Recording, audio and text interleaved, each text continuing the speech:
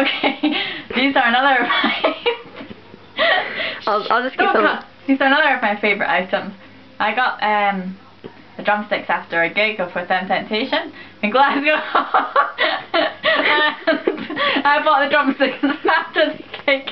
I'm already sat down and I look closely. They're, si- They're signed. they're signed by the drummer of Within Temptation.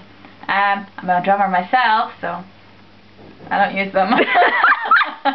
They're drummers, so I don't use them. Oh. Oh, where did it go? There it is. right, switch off.